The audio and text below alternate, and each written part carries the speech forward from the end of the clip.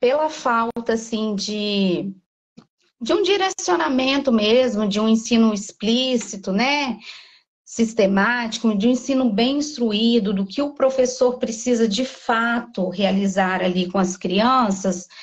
É, porque o que, que acontecia assim, eu acredito que na maior parte das escolas fazíamos, né? Eu falo por mim também, porque eu venho do chão de sala de aula e muitas vezes era isso que acontecia comigo. Eu fazia, mas eu não sabia às vezes, o que fazer, por que fazer, como fazer. E hoje não.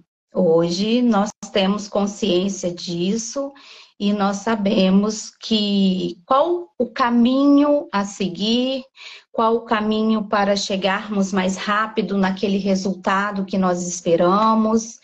Então é assim, tudo muito mais fácil, né? clareou muita coisa e então a gente sabe de fato o que é necessário fazer, por que precisamos fazer e como devemos fazer.